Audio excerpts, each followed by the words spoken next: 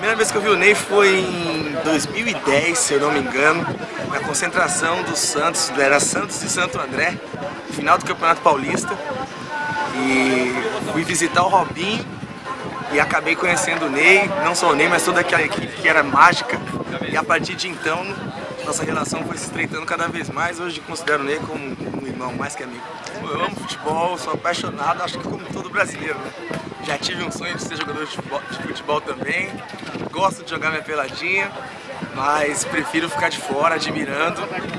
E tenho a honra de ter craques como amigos que representam muito bem o que eu gosto de ver e representam muito bem o que o brasileiro é. E eu, como todo brasileiro, sou apaixonado por futebol. Isso, qualidade! Qualidade! Qualidade!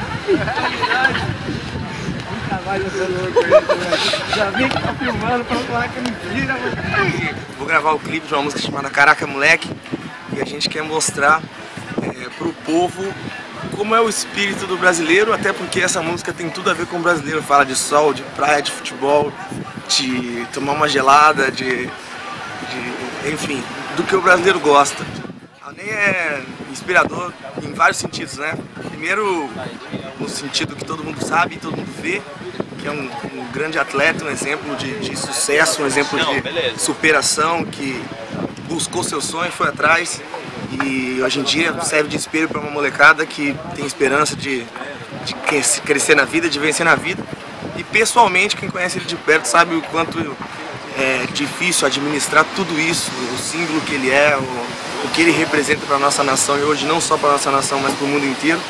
E manter esse pé no chão, manter essa humildade, manter esse espírito moleque que ele tem, esse sorriso no rosto todos os dias, que contagia quem está perto dele sempre. É? Esse aqui, esse aqui, não, de cima. Esse aqui, esse, esse aqui, esse aqui embaixo, né? Não, na segunda porta. Pra ver se é mais fácil.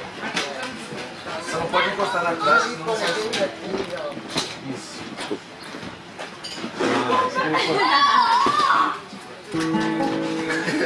Só que tem que mudar rápido aí. É, mas é sério, é treino. Os caras conseguem tocar sem olhar. Ya preguntaron, ah, ¿qué día? ¿Qué día?